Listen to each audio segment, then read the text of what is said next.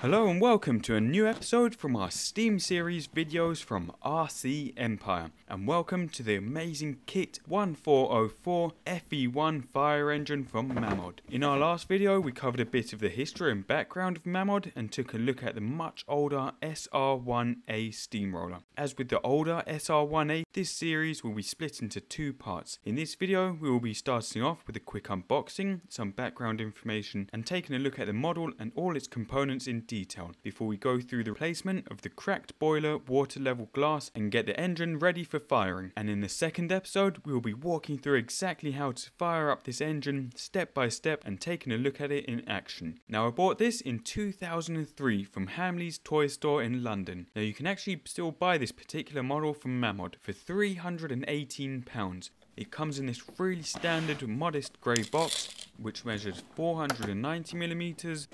250mm from top to bottom and around 190mm deep. On the bottom here you have the full starting instructions, a few hints and tips and a number of warnings. On the side you have some contact details and some info on what to do if you need spares and repairs. And on the top you've got Mamod live steam models printed in big red writing. And unfortunately a big stain where I left a cleaning cloth whilst we were wiping the box. If we take the cover off, you can see we've got this simple polystyrene box holding the model safely in place. Top left, we have the original bits and pieces that came with this kit. So we have a burner tray, which you can see is very different from the old one we saw last time. And this is made from stainless steel, and you can see it has been used a few times.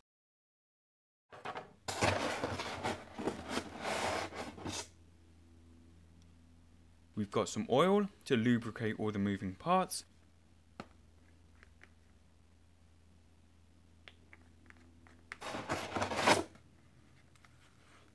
finally, we have our fuel tablets, and these are the official Mamod ones. Make sure when you light these, you are in a very well ventilated space.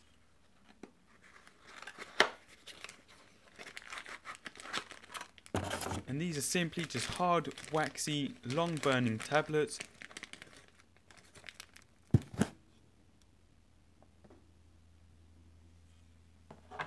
and they just sit in a tray like that. And if you want, you can put two in at a time to get a lot more heat under the boiler. But of course we will be taking a look at this in a lot more detail and going through how to light these and where they sit on the model in the next video. And finally, before we get onto the model, we have a couple of spare parts here that we bought a few months ago. And what's great with these models is that the parts are so easy to find and are so cheap, as you would expect with washers and small parts like these.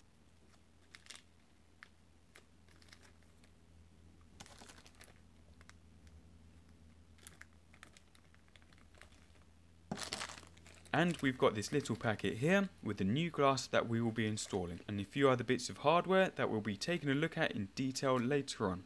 So, onto the actual model itself. As far as toys and models go, this is one of the more stunning ones. Now, for the most parts of its life, this has been a display piece, and we've only ever used it the odd time during summer, and we've kept it nice and clean. If you didn't actually want to use this as a live model, it is still a very nice display kit. Now quickly, according to the Mamod website, this weighs in at just under 3 kilograms at 2,970 grams. The bodywork and metal panels are made from pressed and bent 1mm steel plates which are screwed or riveted together. And as you can see, it looks stunning. Mamod have really done a great job with the detail, colours and the finish of this model. This particular model is based on early fire trucks that you would expect to see in the 1920s or 1930s and it's a fantastic scale model. Interestingly, this is the pre-built version and you can actually get a kit version of this engine which is kit number 1405 which is slightly cheaper and you can build and screw everything together yourself which is cool especially if you just want to see how everything fits together, learn about fixtures and fittings and build your own steam model. Now quickly, just so you can get an idea of the size of this model, from end to end it is about 460 millimeters long. The wheel diameter is around 80 millimeters. The width of these fenders is 25 millimeters. The width from the outside of the tires is around 145 millimeters. The diameter of the flywheel is around 45 millimeters. And the total height is around 185 millimeters. And of course on the front here, as with the older SR1A, you've got the pressure release valve where you also fill the boiler up with water.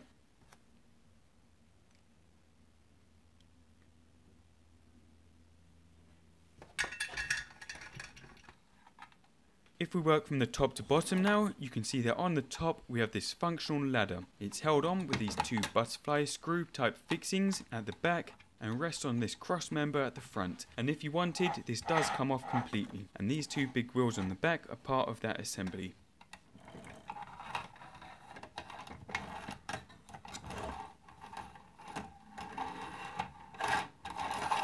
And this ladder is made up of two aluminium side rails and brass rungs riveted along its length. And you've also got a little catch lever there to hold it in place. And it just slides in and sits back there.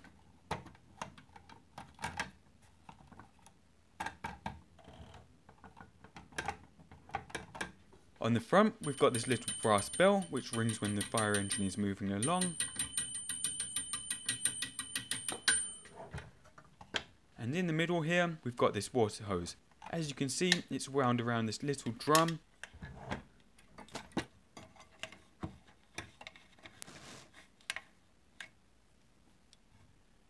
Got an aluminium nozzle on the end of it. Unfortunately, this is there just for show, and it is not functional.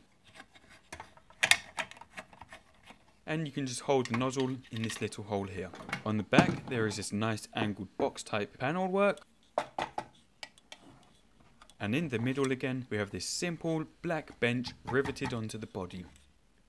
Moving on to the front there are these cool headlights. Now these are just plastic and painted gold but they do have a reflective mirror in the front of them as you can just about see there. Now, moving on to the controls and the moving mechanisms. On the left hand side, as with the SR1A model, we have a forward and reverse lever. Unlike the older model however, this does not have the same level of speed control as you will see later on in the series. On the right hand side, we have this really nice steering wheel, which is again just plastic, but it is fully functional. Although unlike the steamrollers, this does not have an extended handle that you can use to steer it whilst it's moving. And underneath, we can actually see that steering mechanism, and it is really simple. You have the steering column coming from the steering wheel, and that connects to this black crossbar and this connects to these extended lobes which are part of the wheel hubs. Can also see that we still have the original label in there and this says batch number 5th of September 2002. Now in terms of the steam system, like the steamroller, we have two exhaust pipes which vent to the bottom of the engine and one input pipe coming from the bottom of the boiler that goes straight into the brass piston. As the steam pushes the piston, power from the piston is transferred across to the other side of the chassis via this drive shaft. And this is connected to the fire engine's flywheel, which also acts as a small pulley.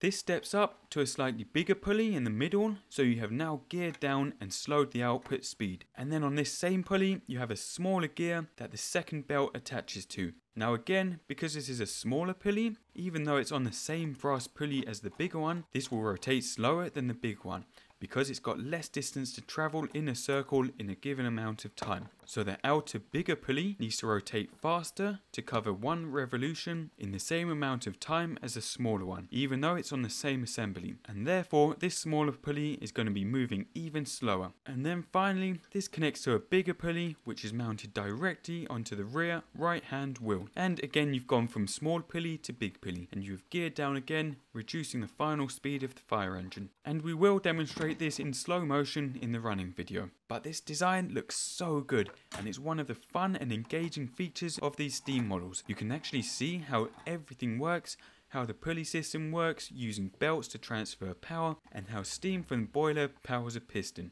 The wheels here are made of hard rubber and they should last quite a long time as long as they don't start to crack. Everything on this model just looks perfect, from the pulleys to the stamped grooves on the steps and the fenders, and of course this amazing bright chrome on this front grille and cover.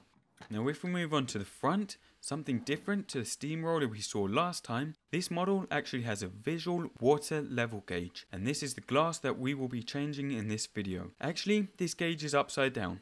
The filler water level should be close to the top as you'll see in a minute. On the front you can also see that there is a very basic form of suspension there and you can see the wheel arches are pretty flexible. They won't break off but they're not really somewhere you want to pick up the model from and handle it too much. You have these two black C-section type rails that run from the front to the back of the engine and these add rigidity to the metal panels and hold the front wheels on. And that's it in terms of the construction. So for the second part of the video, we're going to be replacing this front water level glass.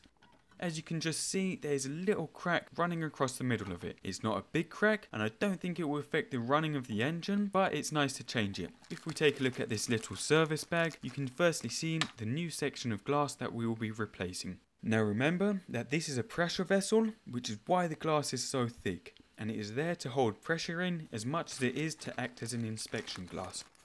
In the packet we also have two new brass screws which hold this cover on, we have a new rubber seal which sits behind the glass as you'll see in a second and we also have these two copper rivets which hold the boiler onto the dashboard as you can see there.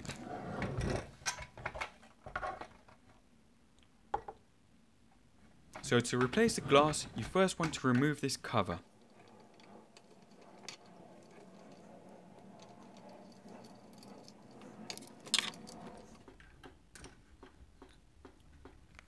And you can see that this is just a simple thin metal brass cap which holds the glass in place and presses it onto the rubber.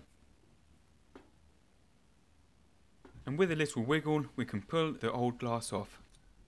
Now do be careful just in case the glass is for some reason smashed and you could have little splinters of glass in there. And you can just see there the little crack forming in the middle of the glass. Now interestingly, the rubber on this doesn't seem too bad at all. It's still rubbery, it's not cracked or hard, and for this video we are not going to be changing this. If it does need changing, we'll see in the next video when we fire the engine up that it might leak or you will see steam escaping from the front cover. Really, the only place steam should be safely escaping from if there is too much pressure in the boiler is from the pressure release valve at the top of the tank. So get your new glass, Place it into the cover plate and hold it onto the rubber.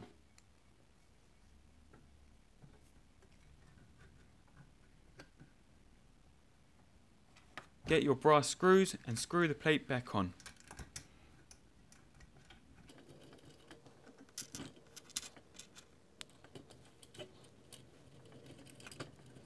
Now you really don't need to over tighten this. If steam or water is leaking from it when we go to fire it up, you can tighten it up a bit more then. But do not over tighten the screws because they might squash and deform this thin brass cover.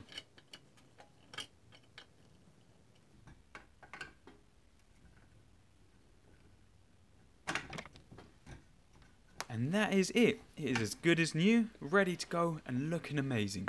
It is worth noting that even though this hasn't been used much, this is still a 15 year old model and looks as good as it did from day one. And with good maintenance, this should last a lifetime. So that's it from this video. In the next episode, we'll be walking through step by step how to fill the boiler, fire up the engine, and take a look at it in action, in a static test, and on the ground. So, I hope you've seen something new and maybe learnt some new things. Please rate and subscribe and let us know if you have any questions or you would like to see anything else and keep an eye out for our next video. Thank you for watching and I'll see you soon.